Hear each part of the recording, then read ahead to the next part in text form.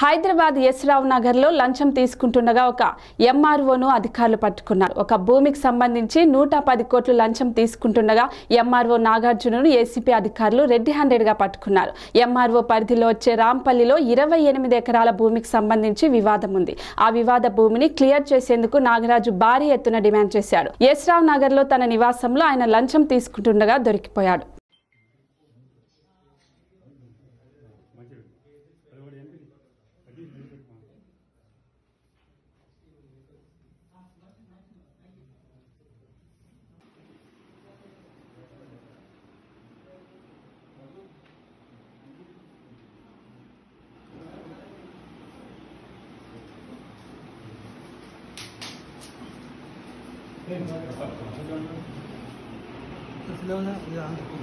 video video video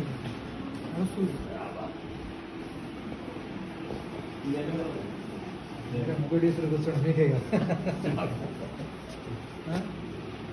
ఇదే ఇట్లా కాదు నోట్స్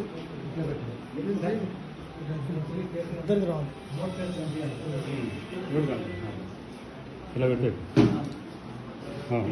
没有发现没有没有没有没有